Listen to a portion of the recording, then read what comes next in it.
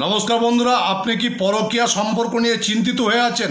আপনার স্বামী বা আপনার স্ত্রী কি পরকীয়া সম্পর্কে পড়েছে?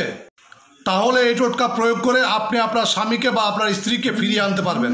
যিনি কাজটি করবেন, তার পছন্দের কোনো কাপ বা গ্লাস, কাঁচের কোনো দ্রব্য যদি ভাঙা অবস্থায় আপনার বাড়িতে থাকে, তাহলে প্রথমে সেটিকে কালেক্ট করুন, তবে এই জিনিসটি অবশ্যই প্রয়োজন।